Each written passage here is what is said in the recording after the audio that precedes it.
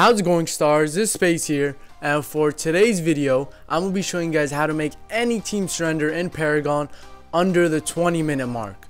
So first of course you have to have a 5 stack. You have to have 4 other teammates playing with you. Because you already know the people that you solo queue with if you play by yourself your other teammates you can't trust them. Like you like you don't know if they're bad. Like usually they end up being bad. But another thing is that your teammates though your other four people that you play with they can't be as bad as the people if you play by yourself. Like they have to know that Jung that Iggy cannot freaking be a carry or a support. Iggy cannot be picked in general. And another thing is I, I don't know I can't even be saying this that Phase cannot jungle like I can't believe I'm saying this but Phase cannot jungle. Like that's not a thing. Like who would even try that? Like I can't believe I'm even saying this, but don't even if your five stack even goes near jungling Phase, just run away from him. Like don't be friends, block him. Don't even think about playing with this guy. So now that you know you have a good team, they're not dumb, the next thing you need is a good carry. In this match, the carry was me, yours truly. I'm the best carry out there like what the carry needs to do is he has to know when to attack and when to help out the team because you're pretty much going to be the best dam like the most damage dealer in the game. So right here i'm coming up and look at that. Do you think they would have gotten the kill if it wasn't for me? No obviously not. Like if it wasn't for me if i didn't come there and help him out she would have for sure ran away. Like come on so yeah, he needs to know when to rotate. And next thing is, is that you cannot miss. If you miss while you're being a carry, you're just gonna mess up the whole team fight, and it might turn out like against you. They might win the team fight. So yeah, usually I never miss. I rarely, I rarely miss. So that's why I'm a pretty good carry. And the next thing you need is that after you have a good carry, is a good jungler. A jungler is a very important role. It's one of the most important roles out there. So right here, just like that if you're a jungler, you have to know when to help out your teams. You have to gank. Especially early on, you have to help out the offlaner and then always gank through the whole game. So now that you have a good carry and a good jungler, the next thing you need is a good support. So the support, you already know, he most of the time has to stay with the carry because you know the carry is going to be vulnerable if he's not with the support.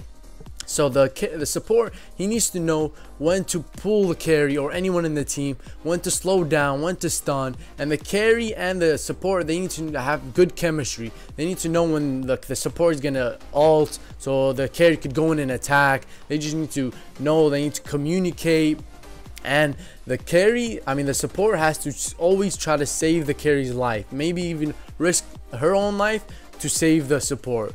So yeah, now you have a good jungler, a good support, and a good carry. The next thing you need is a good offlaner. The offlaner doesn't have that much to do, especially early on. All he needs to do is just stay in his lane, protect his tower, and he needs to just keep it alive as long as he can. And I think the ideal like time to keep it alive is let's say the 10 minute mark. I think that's a pretty good time, you know, around that time. Oh, I mean, I guess the 550 mark is good enough too, I guess. I mean, why not?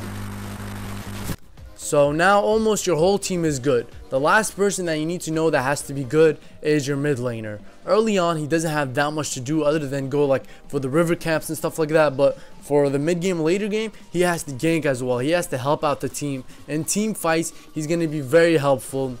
He needs to know when to rotate, when to help the off laner or the uh, right lane. You know, he needs to do a lot of damage. And in team fights, he's going to be very helpful to like clear out the enemy team and of course your support is there your carry is there and that's really all you need. Easy kills left and right. Everyone's going to be helpful. Your jungler's going to help you. Your offlaner's going to help you. Your team's unstoppable and you're just going to destroy everyone's life. And of course while you guys are in team fights your offlaner has to be split pushing and taking the enemy towers while you guys are in team fights and if you're doing that, if you're in team fights, your whole team, and your offlaner split pushing, that's pretty much game over. Like, what else do you need? That's the perfect team. And if you have all that, guess what's to happen? You're to make the enemy team surrender under the 20 minute mark. Just like that. We just destroyed them.